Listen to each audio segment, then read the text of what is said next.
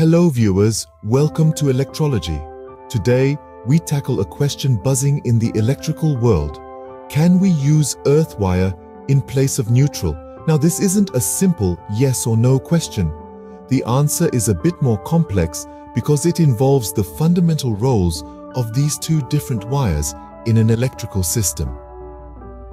The earth wire, also known as the ground wire and the neutral wire, each have distinct functions that contribute to the smooth operation and safety of our electrical systems. Misunderstanding or misusing these wires can lead to serious consequences, including equipment damage, fire hazards, and increased risk of electric shock. So, it's imperative that we delve deep into this topic to understand the critical roles that these wires play and why interchanging them can be a bad idea.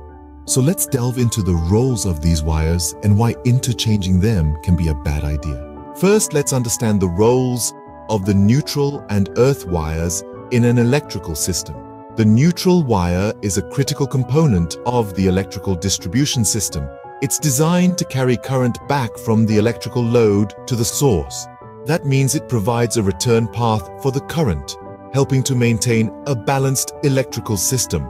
Without the neutral wire, the electrical system would be off-kilter, leading to fluctuating voltages and potentially damaging equipment.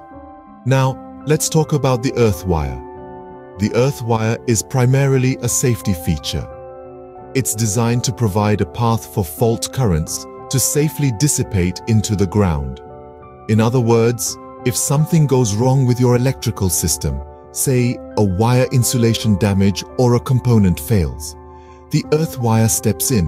It shunts the fault current away from your equipment and into the ground, preventing potential damage or even fire. But it's important to note that the earth wire isn't intended to carry normal operating currents. Its main job is to handle those unexpected fault currents, not the regular flow of electricity. So while the neutral wire and the earth wire might seem similar, they actually serve very different purposes in an electrical system. Now that we understand the roles of these wires, let's discuss why using the earth wire as a neutral can be dangerous. Using the earth wire in place of the neutral wire can have serious safety implications. Let's delve into why that is.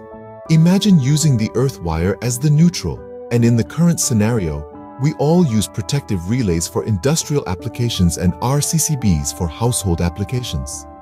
By doing the change, our protection system will sense the return current through the earth wire as fault current and will trip the circuit.